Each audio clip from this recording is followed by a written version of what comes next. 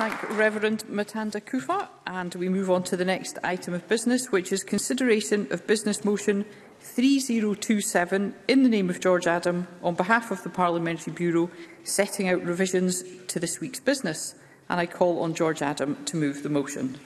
Thank you presiding officer and moved. Thank you. No member has asked to speak on the motion. The question is that motion 3027 be agreed. Are we all agreed? The motion is therefore agreed. The next item of business is topical questions. In order to get in as many members as possible, I'd be grateful for short and succinct questions and answers.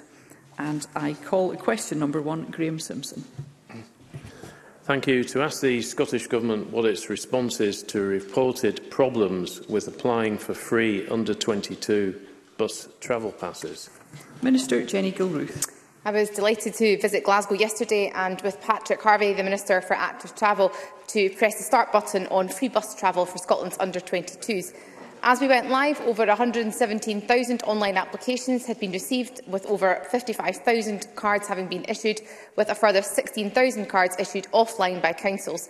I appreciate we have a long way to go to still reach the 930,000 eligible young people, But given we only opened for applications 16 working days ago, that is an excellent achievement and I look forward to increasing numbers of young people enjoying its benefits in the coming weeks.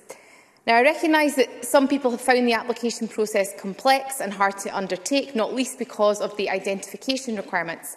The Improvement Service, which runs the online portal, has already made changes to the process in response to feedback. For example, they've now relaxed the proof of identity criteria and are now accepting out-of-date passports and accepting proof of address within the last 12 instead of three months. Local authorities can of course also take applications in person and yesterday I wrote to all local authorities thanking them and encouraging them to do all that they can to help make the scheme a success. We're also engaging with stakeholder organisations who can help us better reach those young people and families. Uh, I want to give the member in the chamber a reassurance today that I will continue to explore the ways in which we can make it easier for young people to apply for their national entitlement card, because this policy is absolutely vital for opening up work, training, education and leisure opportunities for the young people of Scotland. Graham Simpson. Well, can I thank the Minister for that answer, which I heard uh, with, with interest. Uh, it shouldn't really take the Improvement Service to step in uh, at the 11th hour to make improvements that should have been there in the first place. However, it's, it's welcome. Um, parents and, and youngsters have described the process as bureaucratic. One even called it Stasi-like. Um, and I've heard today that people who have been lucky enough to get the card are reporting they don't even work. So perhaps uh, the Minister might want to look into that.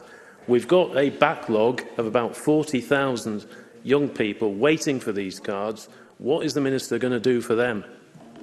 Minister. I thank Graham Simpson for his supplementary question. I mean, I think it's important to remind the Chamber of the context, the timescales involved in the introduction of the new under-22 bus pass. So back in early January, we were still dealing with a steep rise in Omicron cases, and that directly impacted on the launch of the scheme itself and our subsequent messaging. Now, Mr Simpson will recall that my predecessor wrote to all members regarding this change earlier this month. Applications went live on January the 10th with the focus at that time being on those young people with an essential need to travel or, as it was put in the letter to uh, all MSPs, a soft launch of the scheme. The government guidance in place on January the 10th was still for people to work from home, and I hope Mr Simpson recognises the reason for our focus changed um, to therefore be more appropriate in support of the public health guidance at that time. And it's also worth saying that this approach was intended to help minimise pressures on our local authorities, who were also impacted by the current situation with the pandemic and who are also responsible for processing applications and responding to inquiries. I, I do accept that pandemic restrictions have now eased, and that has impacted on our approach with the official launch in Glasgow yesterday 50 and the government's marketing campaign to follow shortly. But I, I suppose to Mr Simpson's specific point on the Information Service, who have direct responsibility for the rollout of the scheme, I will be meeting with them at the start of next week to discuss in detail further changes that we might seek to, to take forward. But I hope he will accept that that does not detract from the importance of having a successful rollout of the under-22 scheme. Graham Simpson. Well, I'm not sure what the applause is all about. Can I, uh, can I ask about? I, I want to assure the, the, the minister. I want. Uh, I, I, mean, the, the, deputy first minister is uh, speaking from a sedentary position. I'm not sure what he's chuntering about, but I want this scheme to be a success. Can I um, can I ask uh, about another issue that's cropped up? Um, SPT with the scheme, SPT and Edinburgh Trams say the introduction of the scheme will cost them money because uh, youngsters will be using buses rather than their services. So I wonder if the Minister uh, has reflected uh, on what they've had to say and whether the scheme could be, accepted, uh, could be extended to Glasgow Underground and Edinburgh Trams. Minister. So on the, on the first point with regard to an extension, we are undertaking a fair fares review to look at a sustainable and integrated approach to public transport fares. So I don't want to prejudge the outcome of that review. But on the second point um, to Mr Simpson's question, we have worked with the Confederation of Passenger Transport to arrive at reimbursement rates to reach that. And I think that's hugely important to recognise that. Um, we will be ensuring that we can help bus services recover from the impacts of the pandemic, and that's what the scheme is also intended to deliver. It will encourage more children and young people to travel sustainably. The free bus scheme aims um, aim that bus operators should be financially no better, no worse off as a result of their participation. To the specifics on SBT and Edinburgh trams, I've received no direct representation on this matter. He might appreciate, having just been in post, But if you would like to share that information with my private office, I'd be more than happy to meet with both organisations and to have a further conversation on the issues that he's raised today. Siobhan Brown. Thank you, Presiding Officer. Can I ask the Minister how local authorities can help in the implementation of this scheme, which has the potential to offer life-changing opportunities to our children and young people by giving them the chance to access increased social, educational and work opportunities? As members may be aware, until very recently I was a local councillor and I'm sure my former colleagues in the SNP in uh, councillors in South Asia are working hard to make sure the local authority supports this great initiative, especially to enable people to apply successfully who don't have the required identifications for online applications. Minister. I thank Siobhan Brown for her question. Um, she's right, local authorities play a really vital part in administering the application process for the free bus travel scheme. And as I mentioned previously, yesterday I wrote to all local authorities thanking them for all they've done to help support the launch of the scheme, but also encouraging them to do more to help us to encourage um, young people to sign up to make the scheme a success. Although many applications are processed through online channels, as we have heard, that is provided by the Information Improvement Service, rather, a number will come directly to local authorities. And I know that many local councils have dedicated staff on hand to help with applicants who may have difficulty with the application process, including, for example, care experienced young people or asylum seekers who may need particular support. Now, we have not directed councils in terms of how they might provide that support, But I recognise that where those necessary mechanisms aren't in place, I would ask local authorities to let my officials know as soon as possible in order to resolve any issues that they may have locally. Neil Bibby. It's very concerning to hear from the Minister that over 800,000 children and young people don't yet have their free bus pass. Can the Minister confirm it is the Government's ambition to get every child and young person this bus pass? If not, what is the target and when will it be achieved? Minister. It absolutely is this government's intention to have every child and young person sign up to this scheme, but I will reiterate to Mr Bibby some of the challenges we faced at the end of at the start of this year rather in my response to Graham Simpson.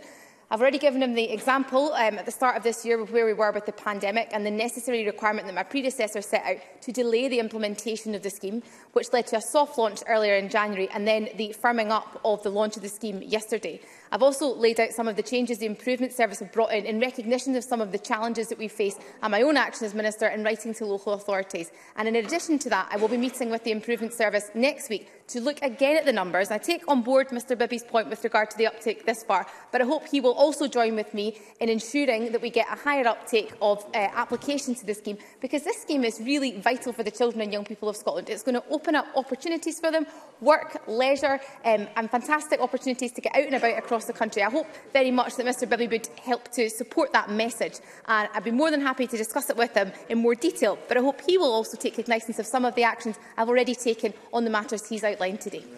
Mark Ruskell. Can I uh, warmly welcome the Minister to her new role? And can I also highlight that there's some brilliant work happening in schools across the country, particularly Perth and Kinross, who are using the parent portal system to sign up entire age groups across the school. Um, can I ask then what more can schools do? I mean, should we start seeing more rollout perhaps in primary schools as well? Minister. I thank Mark Russell for his question. I mean, we are absolutely determined to ensure that children and young people who might benefit the most from free bus travel don't miss out. We know that some families might not be able to apply online, as I alluded to in a, a previous answer, or have the required identity uh, proofs to do so. That's why there are a number of different ways to apply, including directly with uh, a local authority. We also know that some families might need that additional help or support to access the scheme, so we're working with delivery partners, stakeholders and children's uh, third sector organisations, which includes Bernardo Scotland, Poverty Alliance, Carers Trust Scotland, Citizens Advice Scotland and many others. And Finally, all local councils have the option of coordinating applications through schools on behalf of their pupils, as Mark Ruskell alludes to. Some are already doing this, and he gives the example of Perth and Kinross, and I would hope that as long as resources allow and when it's safe to do so, that more local authorities take up that offer. Question number two, Mercedes Vialba. to ask the Scottish Government what action it will take to support communities affected by Storm Malik and Storm Corrie, including addressing the impact on the provision of services such as public transport. Minister Jenny Gilruth.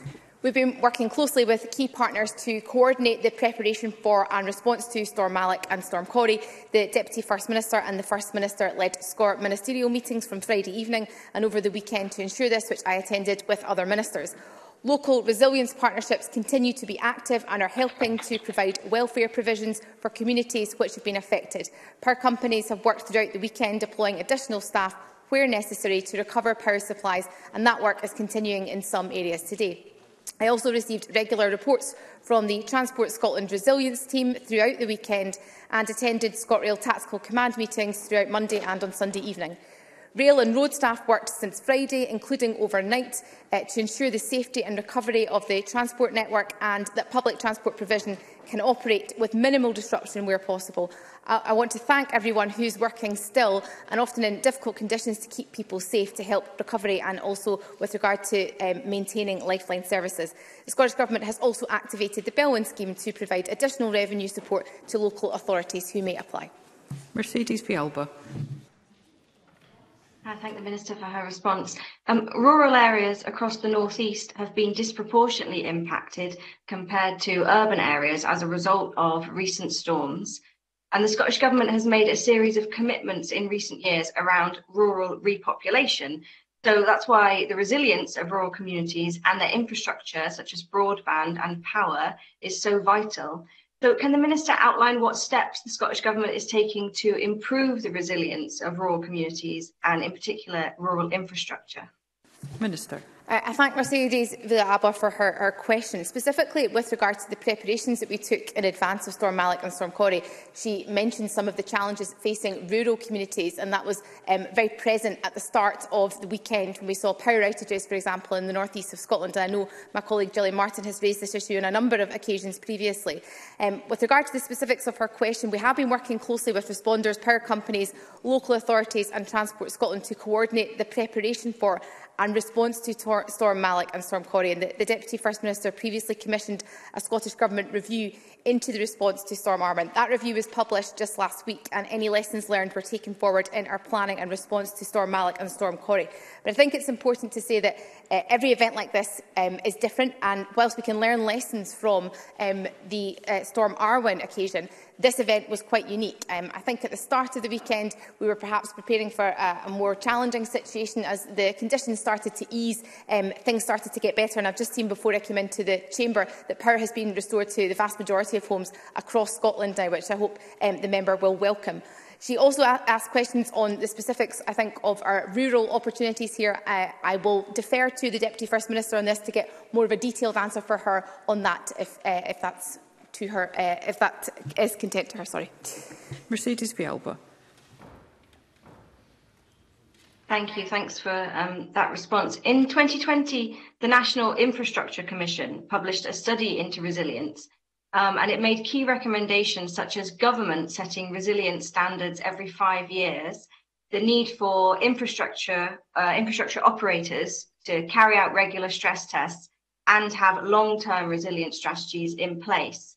Um, so I appreciate um, the we've had a recent spate of storms, um, but there is a need for for long term planning around these um, events. So can the minister outline whether the Scottish government supports the NIC's recommendations, and if so, what engagement it's having with the UK government on the development of a national resilience strategy? Minister. I thank Mercedes Villaba for her question. On the specifics of her question, yes, um, I will respond in detail to her though, and I am aware that there has already been work ongoing with the UK Government on this matter. Can I reflect on some of the challenges perhaps experienced by the rail network in terms of resilience over the course of the weekend?